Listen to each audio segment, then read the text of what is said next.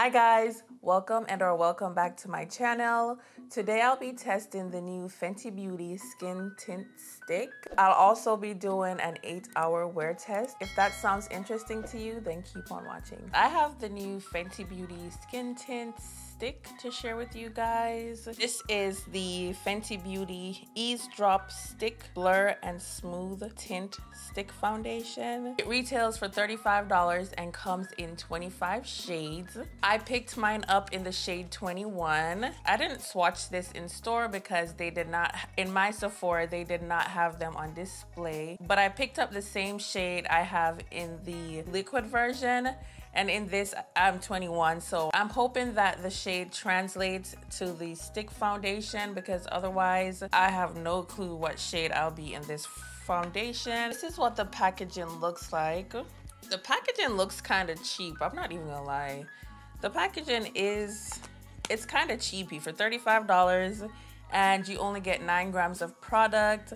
The package is I mean it's cute but it's given cheapy and that's probably because this foundation packaging is 100% recyclable. This is all the product you get in this foundation stick or skin tint stick. That is not a lot. I feel like if you're gonna use this every day, you'll be out in no time. For comparison, I don't have a lot of foundation sticks in my collection, but I do have the one from Huda Beauty. It's the Faux Filter foundation stick. And this one retails for $39 and you get 12.5 grams of product. And I'm just gonna hold them up side by side so you can see the drastic difference in the amount of product you get for the price. If you end up liking this product, I can see you running out of it like really fast. So according to Sephora, it is a light coverage, long wear tint stick with a creamy, smooth texture that instantly blurs while melting into skin for a natural finish. It's supposed to have a light to medium coverage with a natural finish and it has a cream formula. This skin tint is also supposed to be crease proof, fade and transfer resistant and it's supposed to blur and smooth the skin with a second skin finish. I'm gonna give you guys a little comparison between the, the liquid formula and the cream formula, well, the shade match here, I'm gonna put the 21. That's what 21 looks like in the liquid formula. And right next to it, I'm going to swatch the stick formula. I think they're pretty similar. The only thing I will say is the liquid version looks more neutral, whereas the stick formula has more warmth to it. So far, I think I'm liking the shade of the stick formula better. Now let's get this skin tint on the face. I've already primed my face. Everything I'll use in this video. I'll link it in the description box below, but I already primed my face with a new primer I'm trying right now, and it's the e.l.f. Liquid Putty Primer. Let's go in with this skin tint. So right off the bat, I can tell you I don't like this package. It, it feels it feels so flimsy, like it's just shaking around in there, and I don't really like that. I don't like it at all. So here we go.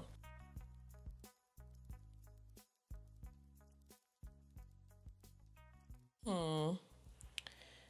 Definitely a thin formula. It feels very light on the skin. Feels a little, for lack of better word, it feels a little greasy. So on this side, I'm gonna use the brush on both sides to blend this in because that's typically how I would use a skin tint. I don't really use a sponge. Um, but wow, that's pretty. This did not take me any time at all to blend this into my skin. So this is how it looks on my face. Have it on this side of my face versus nothing on this side of my face. What do you guys think? I like it. I like it so far. It definitely has a natural finish, it is not glowy. So if that's what you're looking for, this is not one of the glowy skin tints. It definitely has a natural matte finish. So this is what my skin is looking like before I apply the rest of my complexion product. And guys, oh, I think it looks amazing. This so far, first impression, this is so lightweight. It feels like nothing. Like I cannot feel it on my skin. And I think the finish is beautiful. It has a natural matte finish right now. And it's just, mm, I can see this foundation being, or this skin tint being like perfect for the rest of summer because it's so lightweight and the natural finish on it. But tell me what you guys think. I think it looks great. I think the foundation match 21, it was spot on. I think it's a great match. So if you have if you already have the liquid skin tint and you're worried about if the shade is going to match, I think it's pretty safe to say that you can pick up your um, the same shade you have in the liquid version and you'll be good to go. So I'm gonna go ahead and finish up the rest of my face off camera and then I'll come back with the finished product. So I finished up the rest of my face and now I'm back and this is what the complexion is looking like and y'all, I love it. I love the way my skin looks and feel right now. I've been wearing this for about three hours now and my skin feels so light, so airy, and just, it feels like there's nothing on my skin. And mind you, I'm wearing a full face of makeup. I did my full routine and I still feel like my skin looks like skin and I feel like it's settling very well. You know, my natural oils are starting to come through and my face just looks beautiful. So I'm gonna wear this for another five hours so I can get a full eight hour wear test in and then I'll come back and wrap this video up and share my final thoughts. Your girl is back. It's been about eight hours and this is what my skin is looking like. I haven't touched my face at all. The only thing I did was reapply my lip gloss, but everything else is as it was since I first applied this makeup. Now, eight hours in, you see what my face is looking like. I think my skin looks pretty good for it being eight hours in. I've been out and about in this 100 plus degree weather here in Houston. And girl, my face held up so well that I cannot even complain. To be honest, I wasn't expecting anything less because if you've tried the liquid version of this Fenty Beauty skin tint, you already know that it wears pretty well, that it's lightweight on the skin, and all that good stuff. So what I'm gonna do right now is review the claims of the skin tint and let you guys know if it does what it says. So this skin tint, as I mentioned earlier, is supposed to be light to medium coverage. It's supposed to be, it's supposed to have a natural finish. Of course, it's a cream formula, but it's also supposed to smooth and blur the skin. It's supposed to be fade proof and transfer resistant. Yeah, I think that covers it. Now, I can tell you right now, as I was applying this skin tint, it definitely smooth, like my skin looks really smooth. It definitely blurred the skin. Natural finish, I would say it has a natural matte finish.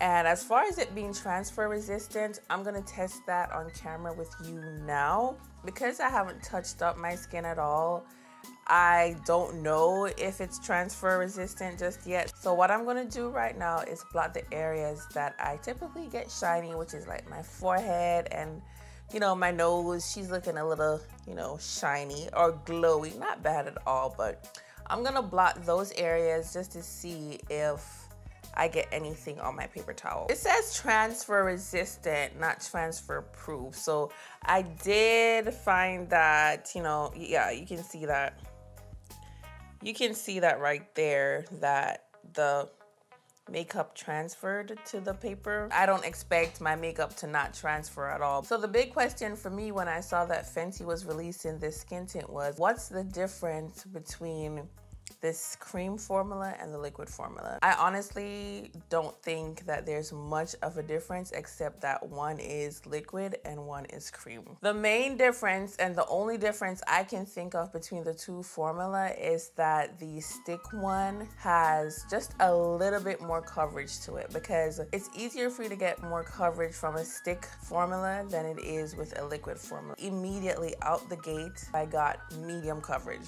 from this skin tint versus when I use the tinted liquid skin tint that one I have to build that up to get to like a medium coverage. But the stick version immediately out the gate you can get medium coverage. And if you want you can try to build it up even more to get like a medium full coverage. I can't say that you need both of these skin tints. If you want a more light or sheer to medium coverage that you would pick the liquid version and if you want a more medium coverage skin tint you you will pick the cream formula. Besides that I feel like this cream formula played very well with all the products that I used today. I, I tested out a few new products and I think overall my skin looks very beautiful. Right now, I love the way my skin looks even more than when I first applied this because now it's like really melted into my skin.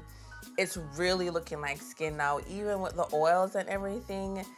It's just beautiful and I can see myself wearing this for another four plus hours and it would still hold up very well. I want to say this is a 10 out of 10. The shade match is good. The formula is good. The wear time is good. Everything about it that I've tried so far is good. If you already have the liquid version, you don't really need the stick version. There is not, like I'm telling you, there's not much of a difference. So I would say if you already have the liquid version, skip the skip the cream because it's not gonna make that much of a difference. If I wanted to get a medium coverage from the liquid version, all I'd have to do is apply two layers versus one and it will get the same look, the same type of finish, and even the same wear. For me, I'm gonna say that I prefer the cream formula because I like more of a medium coverage and it gets me it gets me where I want to be without having to layer up or build up the product. So for that reason alone, I would say that I prefer the cream formula over the liquid. Those are my thoughts on the new Fenty Beauty Skin Tint Stick. Thank you guys for spending some time with me today. If you made it this far in the video, do subscribe and give the video a like and I'll see you in the next one. Bye.